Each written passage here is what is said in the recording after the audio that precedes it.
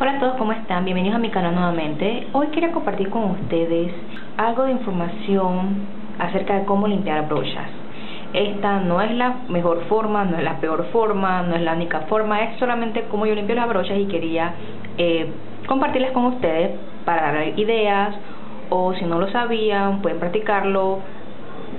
Mi idea es que les sirva a ustedes. Ok, comenzamos. Primeramente, eh, lo que yo voy a usar es un recipiente esto es de una heladería, yo sencillamente lo que hago es reciclarlo, no, tiene que ser tan grande. Igualmente, lo que necesitan es un limpiador para brochas, en este caso estoy probando este de MAC, es bastante ligero, así que usualmente lo eh, la adjunto un poquito de agua. Una forma económica de limpiar las brochas es también utilizando el shampoo para bebé. Yo uso eh, preferiblemente Johnson Johnson.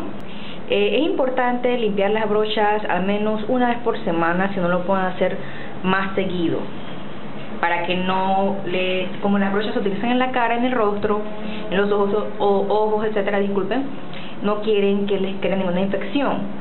Y si usan y reusan las mismas brochas una y otra vez, pueden eh, eh, recuerden que con la grasa, el sudor de del rostro, si a veces uno no está bien limpio, etcétera, pueden crear infecciones. Ok, primeramente voy a mostrar las formas como yo la hago.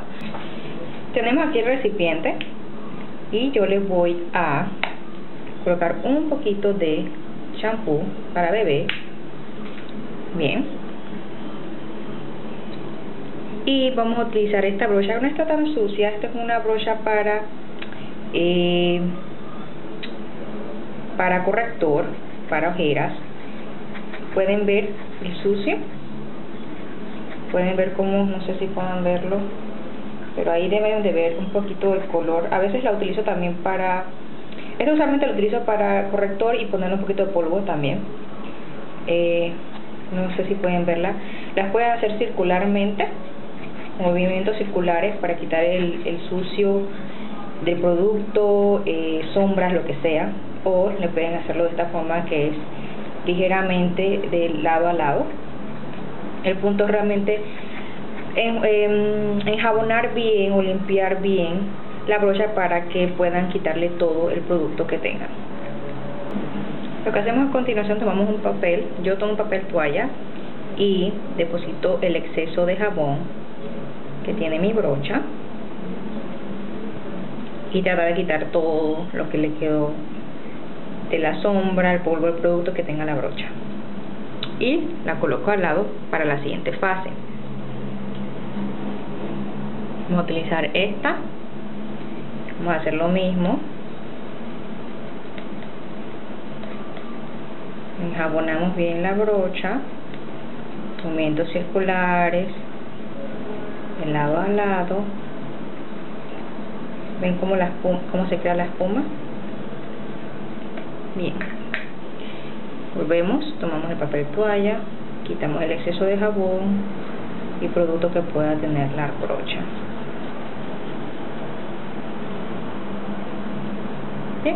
Colocamos a un lado.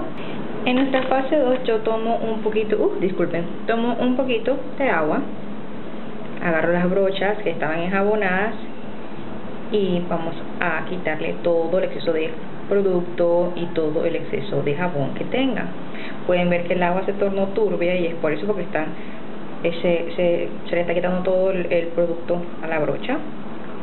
Se desprende todo y uh, disculpen. Ahora lo que hago es que coloco esto acá. A la parte de acá.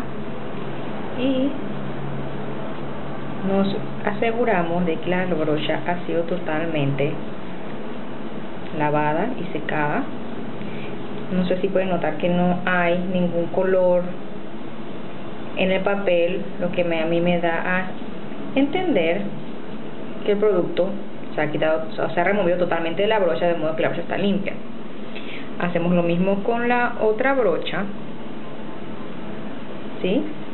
colocamos la brocha dentro del agua, no tiene que ser mucha, traten nunca de hacerlo, de llenarlo tanto agua que no toque esta parte porque aquí usualmente las brochas están hechas de madera y metal y esto si se pone con mucha agua se puede dañar, se puede podrir y se desprende y ya no tendrían brocha entonces movimientos circulares traten de enjuagar bien la brocha. Volvemos probamos secamos ligeramente porque aquí casi no se secan la brocha. Eso viene a continuación pero más que todo me doy cuenta si la brocha aún tiene producto o no. Ven que no mancha no, no se de, no se ve ningún clase de, no se ve ninguna clase de color ni nada o sea que la brocha está limpia. Bien. La otra forma de limpiar brochas es con un poquito de agua y con este en este caso estoy utilizando este limpiador de brochas de MAC. Eh, me he dado cuenta con la experiencia que sí he tenido que colocar bastante producto de esto en agua para que se funcione. De lo contrario no me funciona bien. Uh, disculpen vamos a utilizar esta brocha que tienen es una brocha doble. De lado a lado tiene cada lado extremo tiene su brochita y vamos a limpiarla. Movimientos circulares. Esta no tenía muchas la agua se volvió turbia pero no se no, más probable es que no lo puedan notar porque no, no tenía mucho producto del otro lado. Eh, la, la razón por la cual yo si ven el agua un poquito turbia sí se está desprendiendo producto lo que pasa que no era en grandes cantidades. Eh, la única razón que pueden ver secando aquí como pueden ver quitamos el exceso y lo colocamos a un lado. Voy a utilizar esta brocha para polvo. Eh, cuando son brochas más grandes definitivamente tienen que tener mucho más cuidado pero pueden darse cuenta yo lo uso también para blush pueden verse, darse cuenta del tono que agarró el limpiador. Pueden notar cómo se desprendió todo el producto. Ahora tratamos, tratamos de que desprenda todo volvemos acá, tratamos de quitar el exceso. Y vamos a la fase 2 finalmente tomamos agua limpia y enjuagamos la brocha.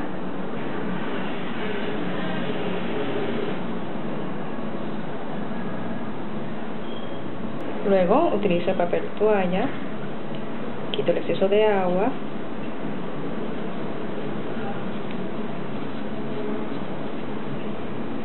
se notan que vieron que tiene un color como azul pareciera que no se hubiera limpiado bien. Así que voy remojo de nuevo.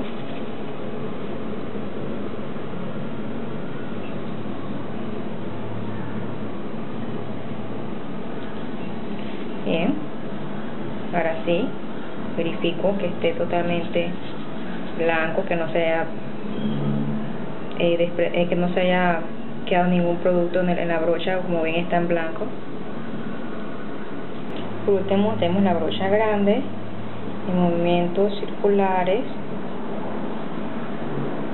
Si vieron cómo se ve el agua turbia va desprendiendo producto. Esto tienen que hacerlo con paciencia de modo que eh, se tomen su tiempo para poder limpiar bien la brocha. Esto lo pueden hacer en el baño, lo pueden hacer en la, la cocina donde les parezca, parezca más cómodo. No tienen que utilizar papel toalla, si tienen, pueden utilizar alguna toalla que pueden eh, usar solamente para las brochas, no para ninguna otra cosa. Pero tratar de hacerlo lo más eh, higiénico posible. Usar papel realmente mm, es higiénico porque lo puedes botar enseguida, pero también no estoy contribuyendo a la al, ambiente así que tiene su parte buena y su parte mala. Bien.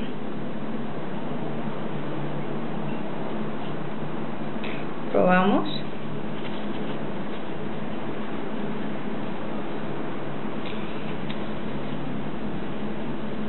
Más que todo para verificar si salen algún otro residuo como les comenté anteriormente hay que tener mucha paciencia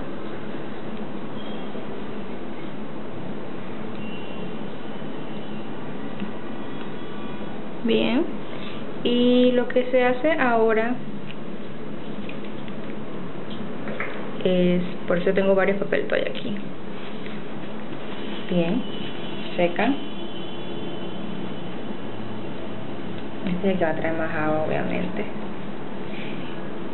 Y ya, lo que hacen al final es colocar las brochas en un lugar ventilado, pero que no entre polvo, en una esquina, preferiblemente en una esquina, no, aquí no lo tengo en una esquina, pero les estoy explicando que debe ser en una esquina, preferiblemente, y la dejan secar al aire libre. Eso sería todo. Recuerden, pueden utilizar el shampoo para bebé o cualquier otro limpiador para brochas. Yo quise probar este tema porque eh, eh, en teoría desinfecta y es muy importante que ustedes desinfecten las brochas porque lo están utilizando en su piel y en su rostro. Así que más que todo quise probarla porque desinfecta. El shampoo para bebé es muy suave y es bueno para las brochas, pero no puedo asegurar que se desinfecte. Así que eso sería lo que yo uso para limpiar mis brochas. Espero que este video les haya servido. Cualquier pregunta no duden en dejarla debajo en los comentarios. Gracias por sintonizarme y nos vemos luego. Chao.